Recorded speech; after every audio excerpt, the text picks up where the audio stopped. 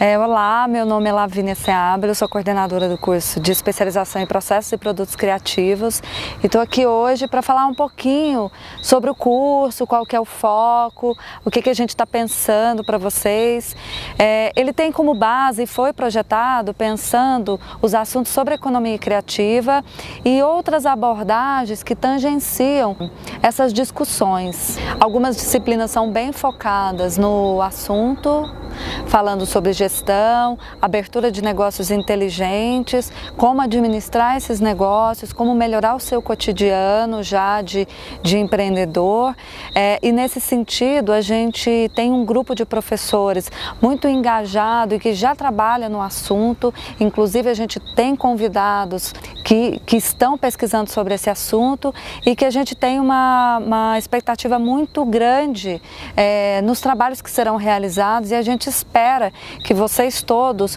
é, entendam o trabalho que nós estamos propondo, como nós estamos propondo e qual o resultado final disso, né? Que a gente tem certeza que todos vão conseguir é, aprimorar o que já fazem ou lançar-se aí no, no mercado inteligente e sofisticado que é esse trabalho feito é, dentro da economia criativa. A gente espera que vocês gostem muito do que a gente está trazendo para vocês.